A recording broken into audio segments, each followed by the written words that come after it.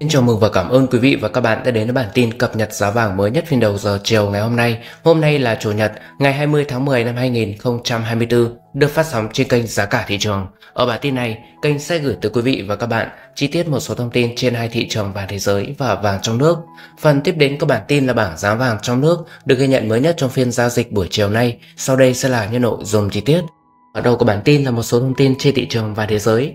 Giá vàng trên thị trường thế giới đóng cửa phiên giao dịch cuối tuần bằng một phiên tăng mạnh và hiện tại đứng ở mức 2.721 đô la Mỹ trên một ao. Bên cạnh đó, chỉ số đồng đô la Mỹ giao dịch ở mức 103,46 điểm. Trên thị trường tiền điện tử, giá trị đồng tiền điện tử Bitcoin tăng nhẹ, đứng ở mức 68.100 đô la Mỹ trên Bitcoin. Lợi suất trái phiếu chính phủ Mỹ kỳ hạn 10 năm giao dịch ở mức 4,082% trên một năm. Còn đối với thị trường năng lượng, giá dầu thô giảm mạnh, khép lại tuần này ở mức 69,35 đô la Mỹ trên một thùng. Trước khi đến với những thông tin chi tiết trên thị trường vàng trong nước, sau đây kính mời quý vị và các bạn cùng điểm qua một chút thông tin cũng như là phân tích trên thị trường và thế giới. Các nhà giao dịch kỳ vọng chính sách tiền tệ nới lỏng của ngân hàng trung ương lớn cùng với cuộc bầu cử tổng thống Mỹ và căng thẳng địa chính trị là nguyên nhân kéo giá vàng tăng cao. Vào hồi tháng 8 năm 2020, giá vàng thế giới đã có lần đầu tiên vượt mức 2.000 đô la Mỹ trên một ao. Đa tăng giá đáng chú ý của vàng khi đó chủ yếu tới từ đại dịch Covid-19 và các gói tài chính do chính phủ các nước thực hiện để kích cầu nền kinh tế. Các biện pháp này đã bơm một lượng tiền mặt đáng kể vào thị trường tài chính, thúc đẩy sự gia tăng của một loạt thị trường tài sản bao gồm cả kim loại quý. Tuy nhiên, giá vàng trên thị trường thế giới đã giảm vào những tháng cuối năm 2020 khi mà tác động của đại dịch bắt đầu lắng xuống. Sang đến năm 2021, giá vàng thế giới vẫn tương đối ổn định, chủ yếu là ở dưới mức 1.900 đô la Mỹ cho một ao.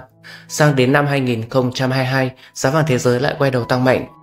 Chủ yếu do cuộc xung đột giữa Nga và Ukraine bùng nổ, giá kim loại quý một lần nữa vượt mức 2.000 đô la Mỹ chung một ao, cùng thời điểm giá trị của đồng bạc xanh suy yếu.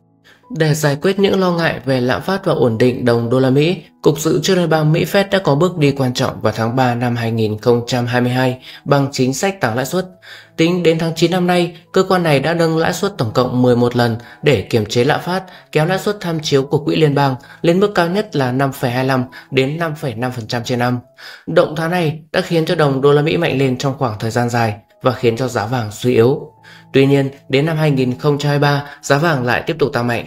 Lần này là do động thái mua vào của các ngân hàng trung ương lớn, nhiều sự kiện địa chính trị leo thang và việc các nền kinh tế lớn trên thế giới vẫn đang phải chịu áp lực sau đại dịch. Ngoài ra, các cuộc xung đột tại Trung Đông đã làm gia tăng nỗi sợ trong tâm lý các nhà giao dịch và điều này đã khiến cho dòng tiền tìm đến kim loại quý như một tài sản bảo vệ an toàn cho khoản đầu tư của họ.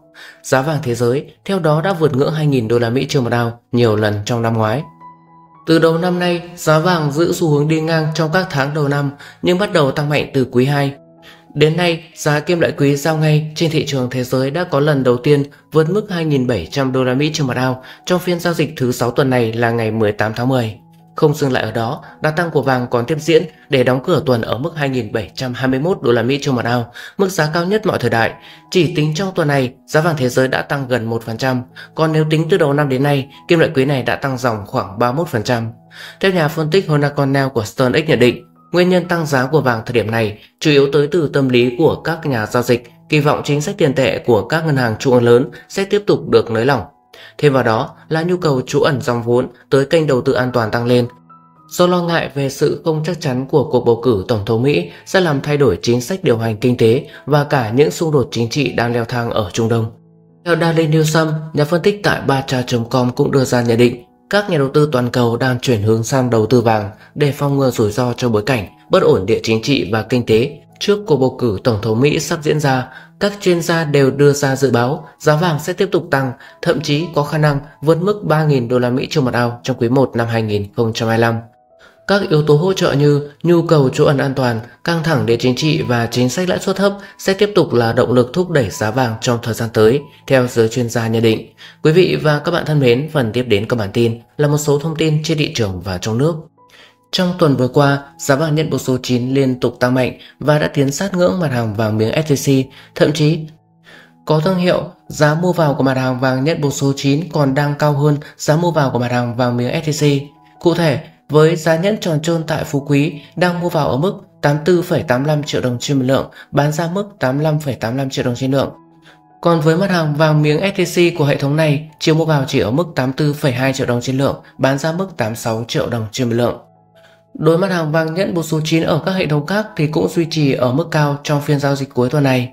Với giá nhẫn 3 số 9 tại công ty Mi Hồng đang mua vào mức 85 triệu đồng trên lượng, bán ra mức 85,60 triệu đồng trên lượng.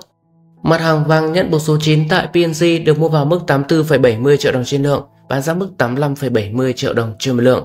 Nhẫn tròn bộ số 9 Hương Thị Vượng tại Doji Mua vào mức 84,70 triệu đồng trên lượng, bán ra mức 85,70 triệu đồng trên một lượng. Nhẫn tròn trơn tại Bảo Tín Minh Châu đang mua vào mức 84,68 triệu đồng trên lượng, bán ra mức 85,68 triệu đồng trên một lượng. Còn đối mặt hàng vàng nhất bộ số 9 tại công ty vàng bạc đá quý Sài Gòn, loại từ 1 đến 5 chỉ được mua vào mức 84 triệu đồng trên lượng, bán ra mức 85,30 triệu đồng trên một lượng. Chi tiết của bảng giá này, kênh sẽ tiếp tục gửi tới quý vị và các bạn ngay sau phần cuối của bản tin. Còn đối với thị trường tiền tệ, tỷ giá đô la Mỹ ngân hàng thương mại mua vào mức 24.950 đồng trên 1 đô la Mỹ, bán ra mức 25.340 đồng trên 1 đô la Mỹ. Giá đô la Mỹ trên thị trường tự do mua vào mức 25.260 đồng trên 1 đô la Mỹ, bán ra mức 25.360 đồng trên 1 đô la Mỹ. Phần cuối cùng của bản tin này là bảng giá vàng chi tiết được ghi nhận mới nhất trong phiên giao dịch buổi chiều ngày hôm nay. Kính mời quý vị và các bạn cùng theo dõi và tham khảo thêm nhé. Đầu tiên là giá vàng SJC tại ba thành phố lớn. STC Hồ Chí Minh từ 1 đến 10 lượng mua vào 8 triệu 400 nghìn, bán ra 8 triệu 600 nghìn. Chênh lệch giữa chiều mua vào chiều bán ra đang ở mức 2 triệu đồng trên một lượng và đơn vị đo bảng giá này là triệu đồng trên một chỉ. STC Hà Nội và STC Đà Nẵng có mức giá tương tự như STC trên thị trường Thành phố Hồ Chí Minh. Doji Hồ Chí Minh và Doji Hà Nội mua vào 8 triệu 400 nghìn, bán ra 8 triệu 600 nghìn. PNG Hồ Chí Minh và PNG Hà Nội mua vào 8 triệu 400 nghìn, bán ra 8 triệu 600 nghìn. Phú Quý SGC mua vào 8 triệu 420 nghìn, bán ra 8 triệu 600 nghìn. Bảo Tín Minh Châu mua vào 8 triệu 400 nghìn, bán ra 8 triệu 600 nghìn. Mi Hồng SJC mua vào 8 triệu 520 nghìn, bán ra 8 triệu 600 nghìn. Tiếp đến là giá vàng STC một số ngân hàng. Ngân hàng Eximbank mua vào 8 triệu 400 nghìn, bán ra 8 triệu 600 nghìn. Ngân hàng Tbank Gold mua vào 8 triệu 400 nghìn, bán ra 8 triệu 600 nghìn. Tiếp đến là giá vàng STC một số tỉnh thành phố khác. Thời điểm này thì cũng không có thay đổi về giá, chênh lệch mua bán ở mức 2 triệu đồng trên một lượng và đang được niêm yết như sau. STC miền Bắc Hạ Long Hải Phòng mua vào 8 triệu 400 nghìn bán ra 8 triệu 600 nghìn. STC miền Trung Huế Quảng Ngãi mua vào 8 triệu 400 nghìn bán ra 8 triệu 600 nghìn. STC Nha Trang Biên Hòa miền Tây mua vào 8 triệu 400 nghìn bán ra 8 triệu 600 nghìn. STC Bạc Liêu Long Xuyên Phan Rang Cà Mau mua vào 8 triệu 400 nghìn, bán ra 8 triệu 600 nghìn. Cuối cùng là giá nhận buộc số 9 và một số loại vàng nữ trang STC khác. Nhận buộc số 9 từ 1 cho đến 5 chỉ, mua vào 8 triệu 400 nghìn, bán ra 8 triệu 530 nghìn.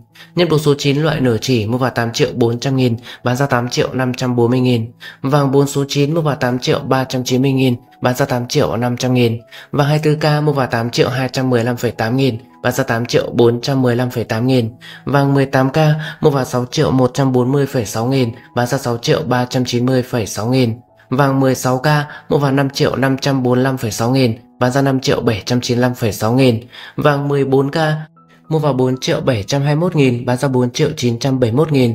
Vàng 10K mua vào 3 triệu 309,9 nghìn, bán ra 3 triệu 559,9 nghìn. Mọi diễn biến tiếp theo trên hai thị trường vàng thế giới và vàng trong nước sẽ được kênh liên tục cập nhật ở những bản tin tới. Quý vị và các bạn đừng quên bấm nút đăng ký kênh phía dưới góc phải màn hình của video này cũng như tích luôn quả chuông ở bên cạnh để mỗi khi có bản tin mới, kênh sẽ tiện thông báo tới quý vị và các bạn hơn. Còn bây giờ, xin chào hẹn gặp lại quý vị và các bạn ở những bản tin tới.